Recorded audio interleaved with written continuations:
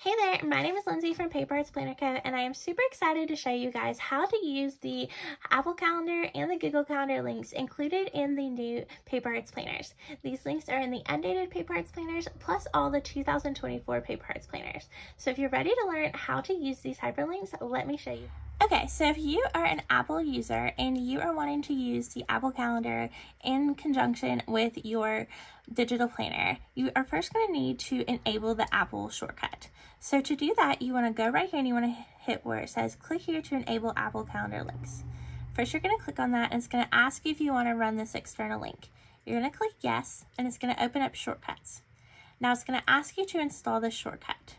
So you're going to want to set up shortcut and then you're going to want to choose whatever app you're using. I'm going to use GoodNotes, but you can also choose a different app if you are using a different app on your iPad. So I'm just going to go down here to GoodNotes and hit select, but you can choose NoteShelf or whatever other app you might be using.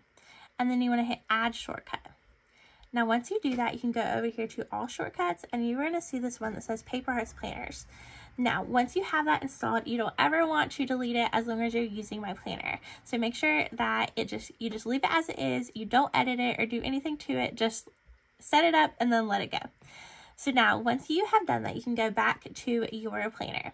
Now, whenever you want to use this Apple Calendar shortcut, you're going to go to anywhere within your planner or any month or week and then you are going to click on the right hand side of whatever day it is. So on the monthly calendar, in all of the on all of the dates right here in this right corner there are links to your apple calendar so whenever you click on this it's going to uh, ask you if you want to run an external link and you're going to hit yes and it's going to run. It might take a second, but then it's going to pop up and it's going to say new event. And it's going to have the date that you clicked on. So it already has January the 3rd, 2024 here. So now I can go in here and I can add a title and location and I can add whatever my event is right from my calendar. So that's how you do it on the month. Now, if you want to do it on the week, the weekly pages are the same. So whatever day you are on, so oh, let's say it's January the 3rd, you're just going to click right here in the right hand corner of any of these boxes. So in all of the day boxes, there are links to Apple Calendar on the right hand side. So you can click right here and it's going to open a short or open a link. You're going to hit yes. And it's going to take a second and then it'll pop up. Now sometimes, just like it's done here, if you ran this and then you ran it again, sometimes it can take a minute for it to work.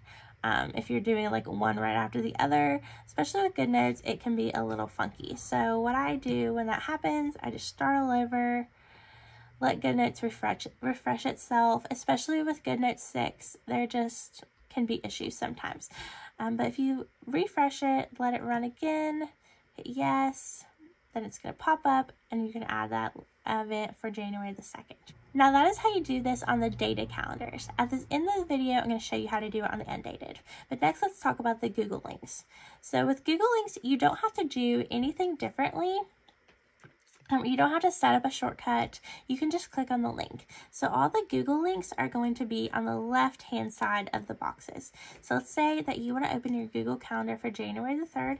You're just going to tap right in the left-hand corner hit yes. And if you have the Google Calendar app installed on your device, it's going to pop right up.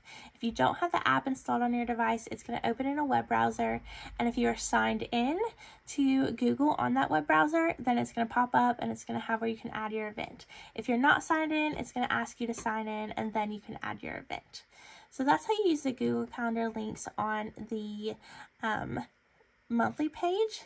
If you want to do it on the weekly page, you're just going to click on the left-hand side of any of these boxes, open it up, and it's going to run to that specific day. You can add your title and add all your information here.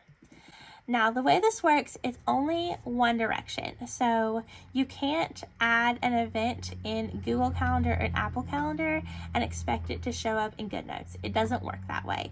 The only thing it does is when you are in your digital planner, clicking on this link allows you to add an event to Apple Calendar and Google Calendar. It doesn't work backwards where if you add the event into Google or Apple Calendar, it's not going to show up automatically in your planner. Unfortunately, it just doesn't work that way. The benefit of this is just to give you a link directly to that calendar to add an event. It's just an extra bonus added to a planner, but unfortunately it doesn't sync automatically. So if you write on your planner that you have an appointment on January the 2nd, and if you just write it, that's not going to automatically show up in Apple Calendar or Google Calendar. You have to manually add that event to your calendar. These links are just the option to open the calendar and add the link without having to do a bunch of steps. It just opens it up for you. So really it's just like a little perk, um, but it's not technically syncing because GoodNotes or um, any digital planning app like GoodNotes, NoteShelf, they just don't have that ca capability yet. Um, so this is just our way of like adding in something extra for you, but unfortunately I can't make it sync. So that's how you use it on the dated calendar. Let's talk about how to use it on the undated calendar. So with the undated planners, the shortcut is different than the dated planners. So if you are navigating between an undated planner or an undated planner, um, or you have both installed on your device, you need to make sure that you also have both shortcuts in installed on your device. So to install that shortcut, you're just going to click on it right here and install it just like we did at the beginning of this video.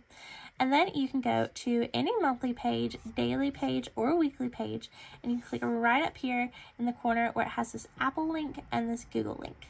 So this Apple link is going to take you to Apple Calendar. So if you click on it and you're going to hit run, it's just going to open up to whatever today's date is. So after it runs, and sometimes it takes a second, and then it's going to bring up for whatever today's date is. So this opened to September 22nd, 2023, which is what today's date is, or 26. Goodness. Now, the same works for the Google Calendar. So if you click on this link here, it is going to open up the Google Calendar for today's date. So I'm just going to hit yes, and then it's going to open up and bring it up to today's date. So that is how you add your events in for the Undated Teacher Planner as well as the Undated Life Planner, and then as well as how you use the links on the dated life planners. If you guys have any questions, let me know.